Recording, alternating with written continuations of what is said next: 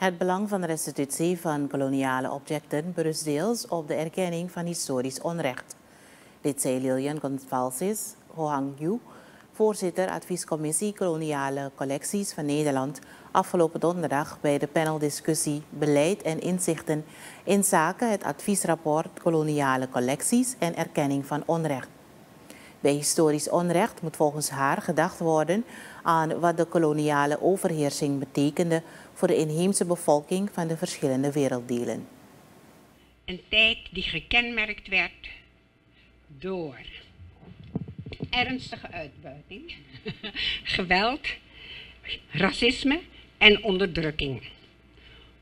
Onrecht voor de inheemse bevolking van koloniale gebieden toen cultureel erfgoed tegen hun wil werd meegenomen. Onrecht dat zal blijven bestaan zolang deze objecten tegen de wil van de landen van herkomst in het bezit zijn van Nederlandse musea. Consalves Ho Kang-yu geeft aan dat een andere principe waarop de restitutie van koloniale objecten berust, is de bereidheid om deze historische onrechtvaardigheid en waar mogelijk recht te zetten.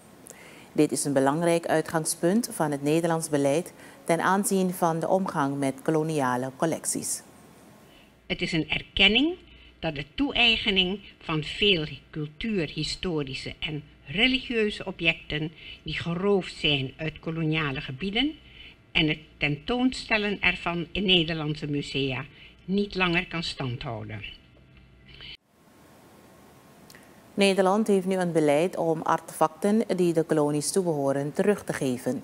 Echter zijn daar randvoorwaarden voor.